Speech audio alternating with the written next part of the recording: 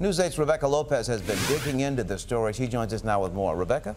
Well, this incident involves some of the highest ranking members of the Dallas Police Department. In fact, one of the highest ranking members. And there are some who believe that this incident isn't being investigated thoroughly and they are demanding action.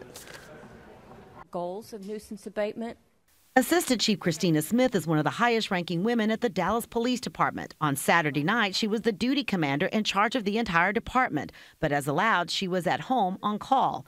That same night, neighbors called 911 after saying that Smith and her boyfriend were involved in a domestic dispute. My wife uh, heard um, some commotion in the street, and she just yelled out, Are you okay? Do you need help? According to police records obtained by News 8, witnesses saw a man and a woman tussling with each other. The neighbor who asked we not identify him says Smith's boyfriend, Matthew Hess, attacked him when they tried to intervene. He says Hess bit him. The neighbor says Chief Smith was angry they called 911. She told me uh, if we just mind our own business, this wouldn't be happening. Here's where the situation takes a turn. The neighbor says Smith called the communications division to cancel the call to her house house. I think it's her uh, using her power in her behalf uh, when in, in reality, way I think look at it is she should have been calling 911 and using her power to come and help us. When police did finally arrive, he was arrested for assaulting the neighbor and public intoxication.